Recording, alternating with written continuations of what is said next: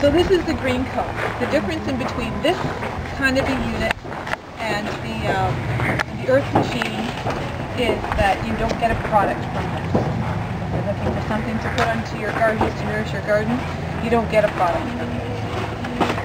Just uh, to, So what's the To point of it? digest it. To digest it. Getting rid of your yard waste, yeah? No, you don't put any yard waste in here. But the point of this is you can put stuff in here that you don't put into your conventional composter.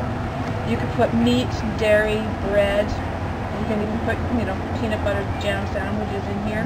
All your cooked and processed All stuff. your, yeah, all your cooked um, process, all your animal, you know, animal products and stuff like that. That can go in here. Cool. And the reason it can go in here is because this is actually buried up to about here.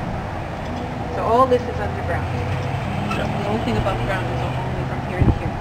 And soil acts like a filter, so there is no odor that comes out. Because the only reason we don't compost those things in there is because it's an attractant to rats. There's no odor that comes out of here, and it can digest safely without attracting any. So about 10% of the stuff that comes from those kitchens is stuff that we can't compost. So that stuff is going into the landfill. By using something like this, then it, it saves that.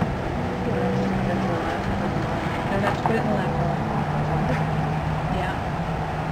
The stuff that goes in here is the stuff, some of the stuff you don't, like, the stuff that goes in here is your fruits, your vegetables, your meat, your coffee grounds, um, your dog waste in moderation.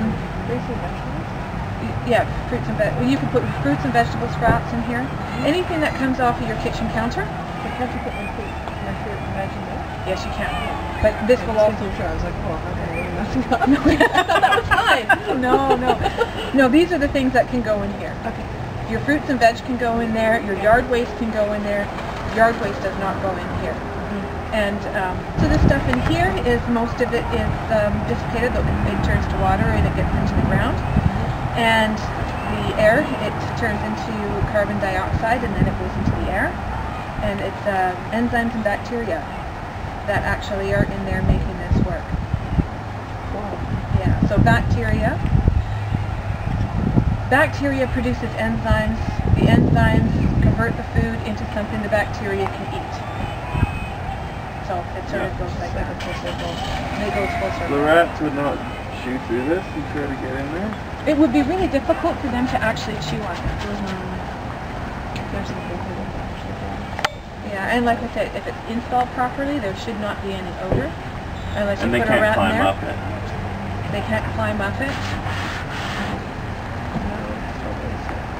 They could dig down into it. They could, if they knew there was something in there.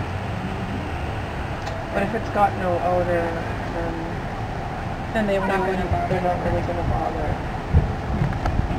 This has to be in well-drained soil, in a sunny location. It's a solar digester. In a sunny location, well-drained soil, and it's always good to put a little bit of compost around it when you're installing it, around the outside of this, of this basket.